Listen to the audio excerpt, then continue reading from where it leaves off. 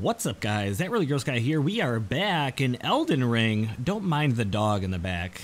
He's on the bridge. The dog.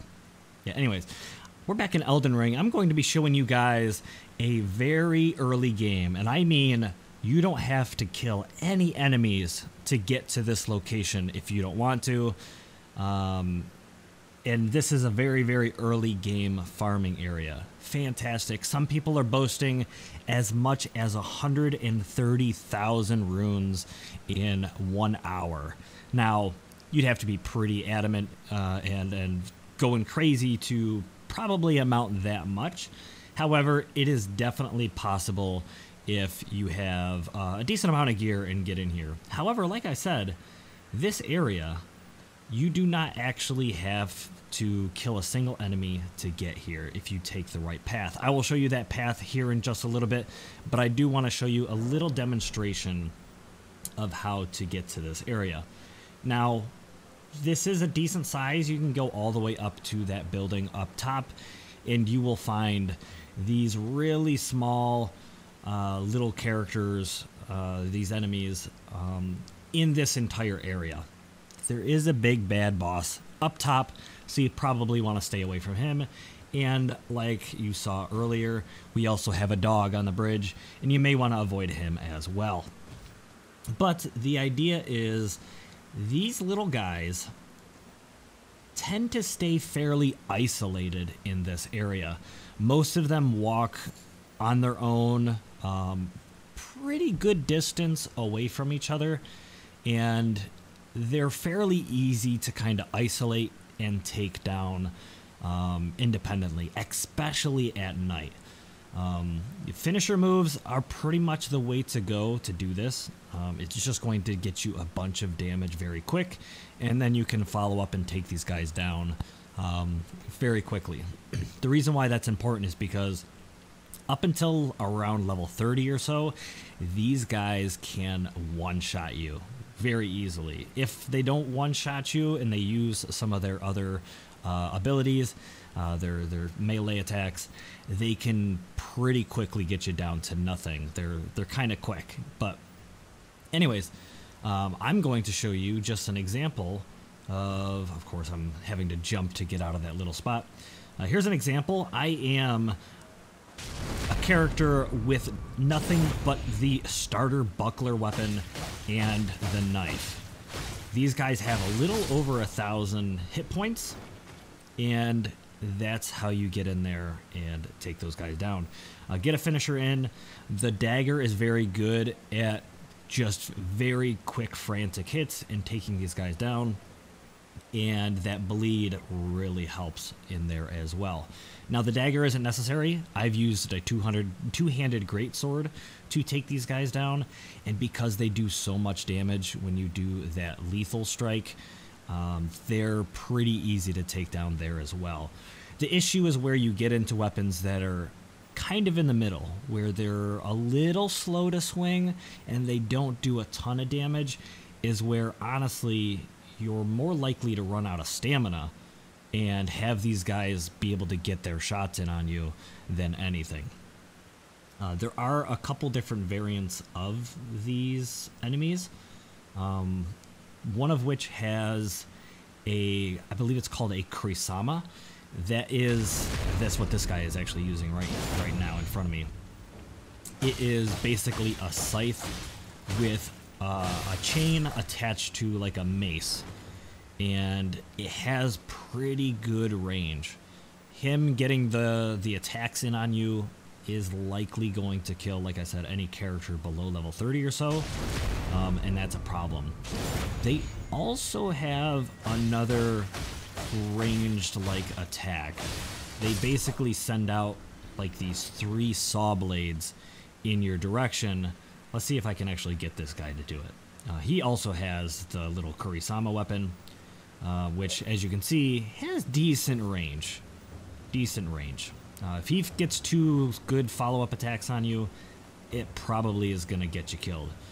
Um, if I can get him to do this other other ability, this one right here, good range. If a single one of those blade hits you, like I said, likely going to kill you in one single shot. So avoid that if possible. Stealth is key. Uh, getting that that lethal in there, the lethal attack in there is key, and then just damaging them before they can get an attack off is ideal. So uh, if you do come in here, I honestly think that you could come in here um, even well after level 40 and do a pretty good job of uh, farming these guys and leveling up. But uh, early game, this is incredible. It's fantastic. So, without further ado, what I'm going to do, um, like I said, a thousand souls per takedown. It's like 1,094 per takedown. Um, we'll show another example of that right here. But I will show you how you can start the game right off the bat, not kill a single enemy, and get all the way to this location. I will point out a couple key items that I do pick up on the way to get here, and those are also fantastic uh, things for a new player to get. So, um, without further ado, you saw taking down four guys, getting approximately 4,400 runes in just a few minutes. All right, guys, so here we are literally walking right out the beginner area into the open world with a samurai. I figured I might as well get in and try uh, to level up a character that I have no time with so that I can, you know, maybe fall in love with a new playstyle.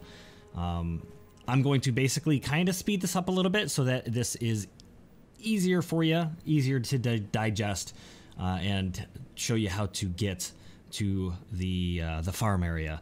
A um, couple key items we will pick up along the way I will mention, and a teleportation device that we will use to get specifically where we want to be. But you will see my path here.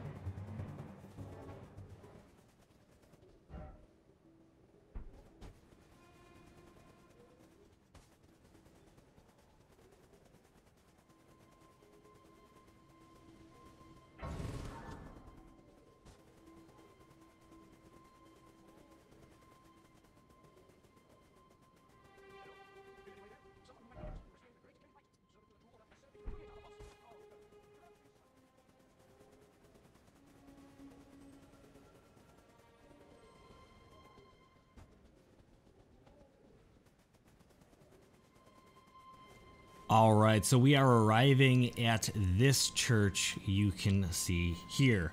I took the road, or I took the areas away from the roads because you were able to see several instances of some uh, impending doom. A giant, there is a big group of enemies just under those ruins, and obviously the horsemen on the bridge.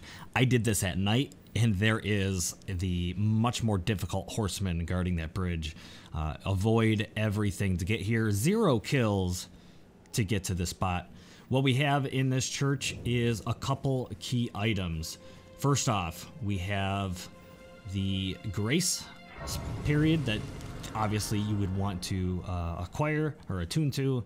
We have right over here some items. The Flask of Wondrous Physic. The great thing about this item is it allows you to combine uh, different items so that your this specific flask does different things for you. For instance, on my main profile, my flask will give me health as well as a stamina regen. It can also do health and like a buff of some kind. Um, and you can basically create a custom flask, which is really, really nice, especially later in the game. And then, of course, over here we have another item, a sacred tear. That is going to make your flasks that much more potent, more viable, heal a little bit more, or restore a bit more of your uh, skill points. From this church, what you're going to want to do is go around the back side of the church. You're going to see uh, this little watery area, and you're going to walk this pond over here to the right.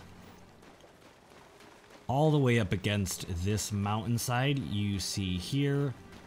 And behind this brush and these trees, you're going to encounter this portal.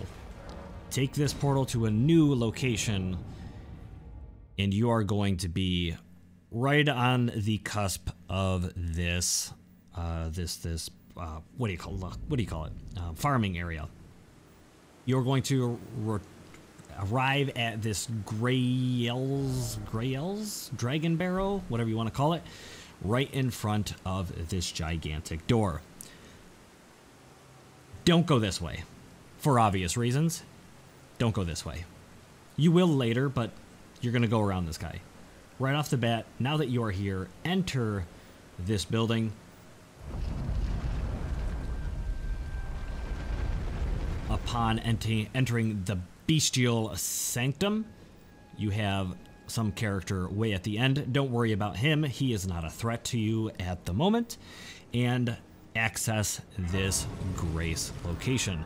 Now, from now on, you are able to fast travel here and respawn here if you would like. Hello. You have been testing me. That is wonderful. I really don't want to go to the round table right now because I am showing my friends how to do a thing. Thank you. Anywho, when you leave this building, like I said, avoid this gigantic monster of death and destruction and go around. You can go around to the left or the right. I feel like the left is the easiest option uh, to, to go. At this point, you are in the area where you can start farming. I will show you basically a quick way down to the other grace that uh, I showed you at the beginning, as well as a golden seed that you can pick up to help increase your number of flasks. When you come down here, there are going to be uh, I think there's a guy off to the left here somewhere. It is dark. I do not see him currently, but he is over here to the left somewhere. You could take him down for a 1,094 runes. There is also someone up here on the road somewhere. Maybe I have already spooked him. I sure hope I have not. Um, oh, yep, there's one right there. Anywho, these are the guys you're going to be farming. There are plenty of them to farm. Uh, there's at least 20 in the area. Um, there's like three that are grouped up way over there somewhere. There are two that kind of walk close to each other, which I typically avoid them because they could potentially, you know, tell each other that they're, you know, hanging out. And I think there's two more over there that kind of hang out close to each other. Other than that, most of these guys are fairly isolated and they're easy to pick off. For instance, we have this little guy right here. Oh, look at that. I managed to not backstab him. This could be a problem. Anyways, fortunately... Oh, yep, this could be a problem. Um, fortunately, this is a fairly quick attacking sword with the ability to cause some bleed. Ooh, that was very close. That's a good example of why you want to do finishers or backstabs. But you'll head down here and you can see a familiar location the bridge with the dog on it, as well as this Grace location. So there you have it. Literally was able to get here without killing a single enemy in the game. And you are now able to farm, according to many people, up to 130,000 runes an hour. I managed to get, I'd say, casually playing, probably 70 to 80 runes with a brand new character that can't one shot these guys. So there you have it. Hopefully this did help you. Let me know, uh, you know, a little thumbs up, maybe a comment down below uh, what you think, if this helped you or it did not. Um, I would love the feedback. And if you are playing this game and you are much further into it, do you have a new farming location? Um, if you were familiar with this farming location, how long did you use it before you moved on to a new one? I'm very curious to know, and thank you guys so much for watching. I hope you enjoyed. Feel free to join my Let's Play if you would like to see that. I'm having a blast playing this game. It's phenomenal. And uh, hopefully I will see you guys again in another video. Blow!